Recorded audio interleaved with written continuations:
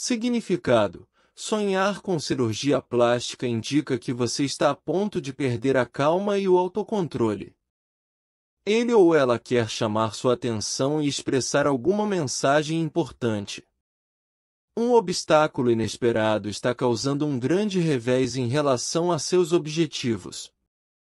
Você não está mais sendo sobrecarregado por alguma responsabilidade ou carga emocional. Você precisa alterar algum comportamento, atitude ou aspecto de sua vida. Em breve, sonhar com cirurgia plástica indica que você se sente muito feliz e satisfeito e não sabe por quê. Isto acontece em quase todos os aspectos de sua vida.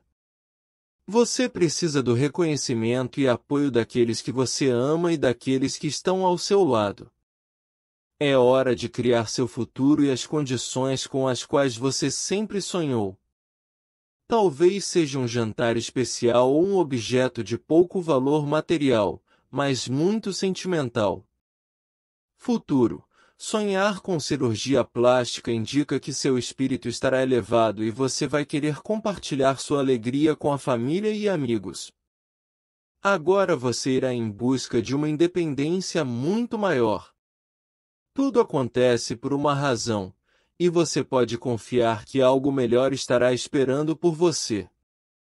O descanso será essencial para se encontrar bem. Eles podem pedir sua opinião sobre uma questão importante, talvez um assunto de família. Mas sobre cirurgia plástica, sonhar com cirurgias diz que seu espírito estará elevado e você vai querer compartilhar sua alegria com a família e amigos. Agora você irá em busca de uma independência muito maior. Tudo acontece por uma razão, e você pode confiar que algo melhor estará esperando por você. O descanso será essencial para se encontrar bem.